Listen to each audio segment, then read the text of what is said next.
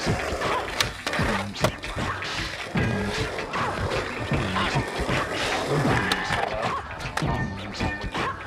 have a little more, my boy.